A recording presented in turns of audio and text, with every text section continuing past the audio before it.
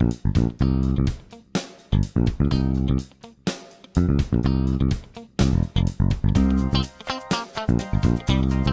avoir parlé des choses qui le concernent d'une manière plus intime et personnelle, euh, l'apôtre Paul maintenant finit avec une dernière prière, et c'est les versets 23 et 24, en disant que la paix, l'amour et la foi, c'est les trois choses fondamentales pour l'apôtre Paul ici. C'est premièrement la paix.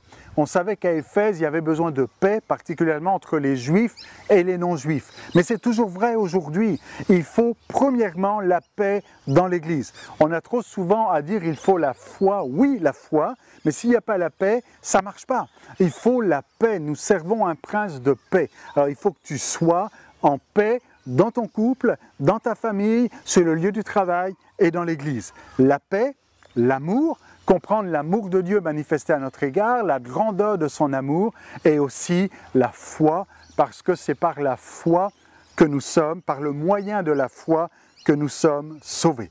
Et ces choses sont données aux frères de la part du Père, ça vient du Père, vous savez, du Père de notre Seigneur Jésus-Christ, donc de la part de Dieu le Père et du Seigneur Jésus-Christ.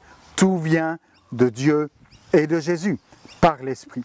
Le verset 24 conclut avec cette dernière phrase que la grâce, la grâce c'est ce don immérité, c'est cette faveur, c'est ce plan de Dieu en faveur de tous les hommes, que la, grâce, c'est par grâce que vous êtes sauvés, et eh bien que la grâce soit avec tous ceux qui aiment notre Seigneur Jésus-Christ d'un amour inaltérable.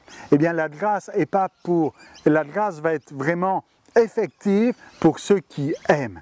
Et aujourd'hui, la seule chose peut-être qu'il faut se souvenir, enfin en tout cas dans cette prière-là, c'est que nous sommes appelés à aimer d'un amour qui ne s'altère pas, qui ne s'abîme pas, qui ne se détériore pas, et que cet amour soit le modèle pour le mari qui aime sa femme, soit le modèle dans la famille, soit le modèle au travail, soit le modèle dans l'Église. Aime Jésus d'un amour inaltérable et tout ira bien.